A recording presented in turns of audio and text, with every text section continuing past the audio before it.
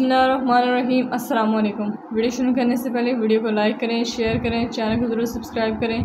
आज मैं आपको कुलचा बनाना सिखाऊँगी। ये मैंने फ्रोज़न कुलचे लिए हैं। अब पैन में मैंने घी शामिल किया है। अब मैं कुलचा रखूँगी और इसे आहिस्ता आँच पर पकाऊँगी। ज़्यादा तेज़ आँच नहीं करनी।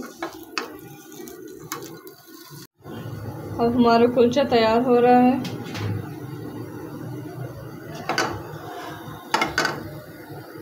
माशाल्लाह से हमारे कुलचे तैयार हो गए हैं। दहें कितने खूबसूरत बने हैं। इसे अंडों के साथ सर्व करें। इस रेसिपी को ज़रूर ट्राई करें। अपनी राय का इजहार कमेंट बॉक्स में ज़रूर दें। वीडियो को लाइक और शेयर करें। चैनल को ज़रूर सब्सक्राइब करें। मुझे दीजिए इजाज़त। खुदा हाफिज़।